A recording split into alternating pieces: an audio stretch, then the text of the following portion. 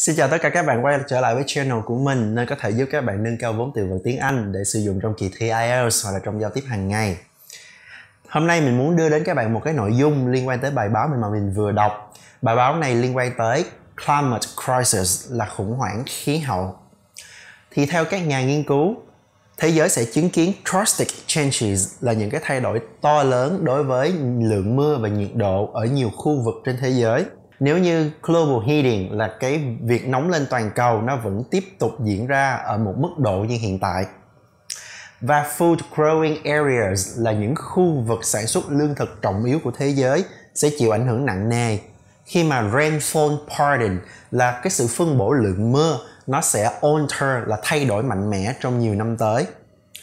Song song đó, food production là sản lượng lương thực của toàn cầu sẽ at risk là gặp nguy cơ, gặp rủi ro làm giảm đi hơn 1 phần 3 khi mà greenhouse gas emissions là những cái lượng khí thải nhà kính vẫn đang tiếp tục gia tăng ở một mức độ rất nhanh chóng và rất cao. Ok, mình tổng hợp 9 từ vựng xuất hiện trong video ngày hôm nay cho các bạn ha.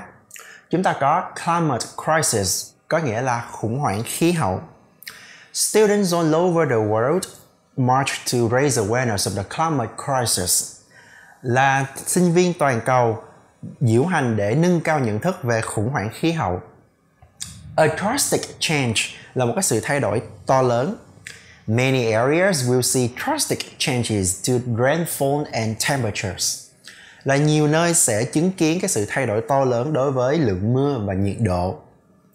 Global heating có nghĩa là sự nóng lên toàn cầu Burning fossil fuel is one of the major reasons causing global heating.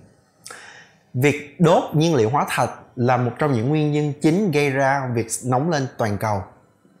Food growing areas là những khu vực sản xuất lương thực. Rainfall pattern có nghĩa là sự phân bổ lượng mưa. In the upland area là những à, khu vực vùng cao thì the rainfall pattern is slightly different là sự phân bổ lượng mưa khác đi một chút so với ở những vùng thấp. Alter từ này đồng nghĩa với chữ change nghĩa là thay đổi. We need to alter our plans là chúng ta cần phải thay đổi kế hoạch của mình. Food production là sản lượng lương thực. Global food production will decrease by the end of century là sản lượng lương thực toàn cầu sẽ giảm vào cuối thế kỷ này. At, at risk có nghĩa là gặp rủi ro hoặc là có nguy cơ. An estimated 7 million people are at risk of starvation là ước tính khoảng 7 triệu người là có nguy cơ rơi vào tình trạng đói khát. Và cuối cùng các bạn có greenhouse gas emissions có nghĩa là lượng khí thải nhà kính. So there are plenty of studies about how to reduce greenhouse gas emissions. Là có rất là nhiều nghiên cứu về việc làm sao giảm thiểu cái lượng khí thải nhà kính. Ok, that's it for today và mình hy vọng là bạn các bạn cảm thấy video này hữu ích cũng như là học được nhiều từ vựng hay từ nội dung ngày hôm nay và các bạn đừng quên là hãy follow Facebook của mình cũng như là subscribe kênh YouTube để cập nhật nhanh chóng những cái nội dung mới nhất ở trong tương lai nhé. Okay, have fun, see you tomorrow and goodbye.